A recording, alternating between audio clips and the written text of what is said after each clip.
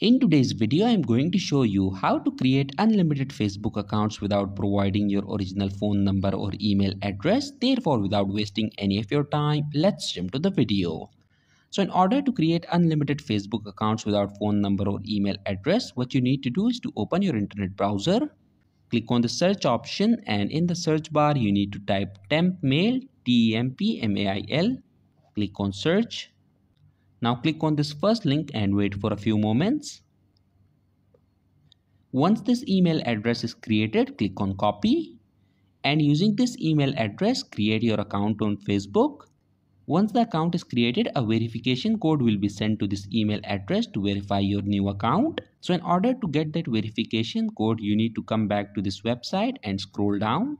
And here in this inbox section, you will receive the OTP code paste the OTP code on Facebook and your Facebook account without your original phone number or email address will be created. So that was it for this video and I'll see you guys in the next one. Peace out.